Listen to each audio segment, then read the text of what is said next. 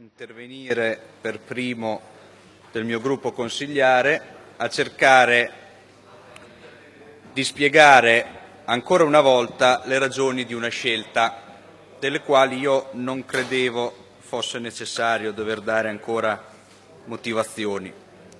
Dico subito che ho apprezzato gli interventi che ci sono stati fino a qui, escluso quello che mi ha preceduto, perché li ho trovati degli interventi profondi e sinceramente degni di questo momento così difficile, che è un momento molto difficile per il Paese, molto difficile e complesso, anche nelle analisi politiche, per molti motivi. Alleanza Popolare ha preso una scelta che forse si capisce solamente guardando tutta questa legislatura. Qualcuno l'ha già ricordato prima di me, questa è stata una legislatura che in molti che ne hanno vissute anche di precedenti hanno riconosciuto essere stato un vero e proprio unicum, l'esplodere della questione morale, la formazione già iniziale di una maggioranza che comunque andava oltre le normali dinamiche del, del confronto politico e poi dicevo appunto l'esplodere della questione morale, ed altre difficoltà. Questione morale che Alleanza Popolare ha affrontato, io credo di poter dire, mantenendo calma e sangue freddo e chiedendo una verifica di governo impostata anche non solo sui contenuti, ma anche su un'assunzione di responsabilità. Abbiamo passato anche quel momento così difficile e a inizio legislatura siamo riusciti ad ottenere l'uscita dalla blacklist, ad affrontare, percorso peraltro già intavolato nella passata legislatura e per il quale tanto si è dovuto combattere, siamo riusciti a portare a termine una riforma IGR che è stata assolutamente impegnativa e per la quale peraltro probabilmente servivano anche diverse cautele nell'applicazione di alcuni strumenti, come magari eh, la SMAC, che dovevano essere meglio accompagnati, ma che però è stata una riforma importante per il Paese. Siamo riusciti, da ultimo, a concretizzare, passando anche attraverso un referendum estremamente impegnativo, il progetto del Polo della Moda. Siamo riusciti a diminuire la spesa corrente, e questo è un dato evidente, e siamo riusciti sempre in questa legislatura, proprio per consentire l'emergere di quella questione morale, a fare delle leggi che hanno consentito al Tribunale di operare ampiamente. Chi volesse disconoscere queste cose non leggerebbe la realtà nella sua evidenza io credo. Poi ci possono essere opinioni diverse su tutti questi argomenti e alcuni magari li può vedere anche come dei punti di debolezza. Io credo che siano stati tutti dei punti di forza. Ma la legislatura è stato anche altro e io credo che così come dobbiamo ammettere che questi risultati conseguiti sono stati importanti, però non possiamo non renderci conto di quale altre problematiche sono emerse, o meglio, si sono delineate con maggiore chiarezza sul finire di questa legislatura, nei mesi precedenti, che sono tematiche non di, di minor rilievo, non di poco conto. E allora l'abbiamo detto, abbiamo assistito ad un certo punto ad una stasi, ad un blocco nell'azione del governo e della maggioranza. Su tematiche non banali, erano in discussione e sono tuttora in discussione il futuro del sistema bancario e finanziario del Paese, l'autonomia che veniva vista con diverse sfumature della nostra banca centrale, la gestione degli NPL, che afferisce sempre alle questioni del sistema bancario e finanziario. E poi giù giù una possibile riforma del sistema previdenziale.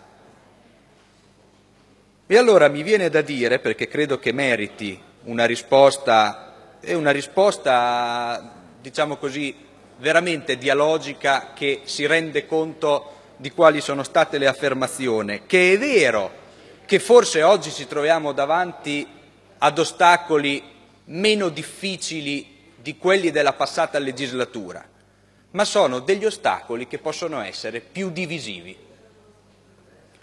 Uscire dalla blacklist era un risultato semplice da comprendere, da comprendere dico, non da conseguire, un risultato semplice da comprendere. E non ci potevano essere visioni diverse, eppure le abbiamo viste lo stesso, perché abbiamo visto anche chi continuava a sostenere magari il, ma il mantenimento dello status quo o oggi alcuni rigurgiti di volontà di ritorno a quel precedente status quo ante. Oggi quello che ci aspetta per il futuro del Paese sono scelte, dicevo, magari più semplici da effettuare, ma più divisive. E allora è proprio in questo che sta la proposta che Alleanza Popolare ha formulato uscendo da questa situazione.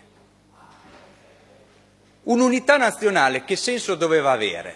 Doveva avere proprio il senso di riuscire a mettere un punto fermo ad una tensione che si era alzata in maniera verticale ed esponenziale e a vedere se ci fossero state le condizioni da parte di tutti, Alleanza Popolare, l'ha ricordato il segretario Mularoni, non ha messo paletti, non ha messo esclusioni, per riuscire a vedere se si fosse stati in grado di mettere pa da parte alcune posizioni che già si erano concretizzate, si erano oramai espresse e forse in alcuni casi anche sclerotizzate, per vedere se invece si riusciva a trovare delle mediazioni, a trovare dei punti di confronto. Perché poi c'è un altro problema, un altro problema costante di questo Paese, che le situazioni non si affrontano solamente per quello che, so, che sono, nella loro tecnicalità o nella loro gestione, ma si affrontano sempre anche con dei retropensieri, secondo le domande più costanti che sono chi o cosa c'è dietro. Ecco, io spero ancora, per giunta anche perché questa proposta ha trovato consenso anche in, eh, in vari settori diciamo così, della società civile, dalle associazioni di categoria ad altre, che si sono espresse sentendo la necessità di questo percorso, che era un percorso che non doveva riguardare solamente la politica, ma che avrebbe dovuto riguardare anche la società civile, anche le associazioni di categoria, anche le associazioni sindacali, proprio per riuscire in un momento così difficile a fare squadra. Ad evitare magari scioperi generali di fronte a delle decisioni che sappiamo ci attendono e sono impopolari. E credo che sarà già importante che tutti siamo consapevoli che chi in campagna elettorale dirà qualcosa di diverso mentirà sapendo di mentire oppure non vorrà dire certe cose.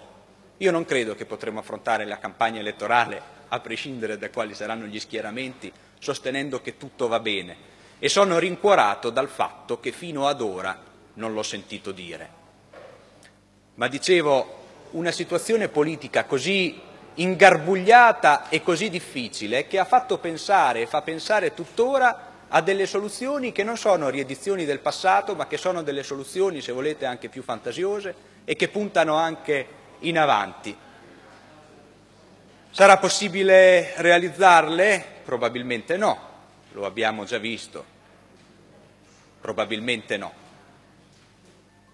ma un auspicio credo debba rimanere e l'auspicio è che il confronto possa essere sempre, a tutti i livelli, fatto in modo tale che l'interesse primario sia quello di guardare ai contenuti e alle proposte. E quindi sarà necessario eh, aggredire immediatamente quelle che sono considerate delle vere e proprie emergenze. E spero sinceramente che in questi mesi in cui si svolgerà la campagna elettorale non si vogliano tentare delle, delle scorciatoie o delle, dire, delle accelerazioni che probabilmente non sarebbero utili. Quello che è utile è riuscire ad, ad arrivare ad un grado di consapevolezza precisa anche all'interno di tutta la nostra popolazione. Questo lo dobbiamo. Sono Credo che Alleanza Popolare sia sostenitore da tempo, e lo sono anche io, che non esistano problemi che vanno taciuti per essere meglio risolti. Esistono problemi che devono essere esplicitati con una premessa, che se c'è la volontà e che se avremo la forza anche intellettuale di affrontare quei problemi, sono risolvibili che un futuro possibile per il nostro Paese, per la Repubblica di San Marino, esiste. E questo è importantissimo che noi lo diciamo. Un'altra specificazione la devo fare su quello che è stato l'andamento, diciamo così, della, della crisi, dall'apertura della crisi. Qualcuno ha sostenuto che forse sono stati eh, commessi voglio dire così, errori strategici oppure che non sono state sondate tutte le strade percorribili. Ecco, io dico che questo è un interrogativo che io continuo a pormi e che probabilmente mi porrò anche successivamente, ma che è un interrogativo oramai che riguarda la storia, la storia politica del, del mio movimento, la storia politica personale anche nostra, però credo anche che se ci fosse stata o se ci fosse la volontà di arrivare a delle scelte diverse e a delle conclusioni diverse, questo sarebbe stato e sarebbe percorribile. Ma è ovvio, eh, la politica è una, una strada molto molto complessa, molto molto articolata, nella quale poi è difficile pensare che le posizioni dei singoli o, le, o i posizionamenti anche elettorali dei vari partiti possano essere messi da parte, perché guardate, io credo sinceramente che una coalizione ampia in questo momento probabilmente non avrebbe avuto neppure dei, dei grandi successi elettorali, ma sarebbe stata una, mh, quella che in altri casi anche si è chiamata un'operazione verità eh, fatta in maniera molto concreta. Da adesso bisogna andare avanti, io sono molto contento che venga ehm, accelerato l'iter per lo scioglimento del Consiglio Grande e Generale, bisogna andare avanti cercando che questa campagna elettorale non sia solamente un posizionamento elettorale, ma cercando anche di far capire alla cittadinanza che questo momento così grave che noi stiamo vivendo come intero sistema Paese ha delle soluzioni possibili, ha delle soluzioni che sono alla portata, ma per raggiungerle servono delle scelte tempestive, coraggiose e indubbiamente consapevoli. Poi magari in replica dirò qualche cos'altro rispetto a quello che è stato detto nel dibattito fino ad ora. Grazie Eccellenza. Grazie consigliere Renzi. La parola al segretario di Stato Arzilli. Grazie Eccellenza. Cercherò